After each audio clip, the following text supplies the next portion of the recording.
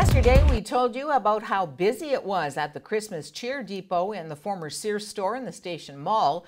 Today, the entire space sits empty as hundreds of volunteers delivered the gift boxes to distribution points across the city.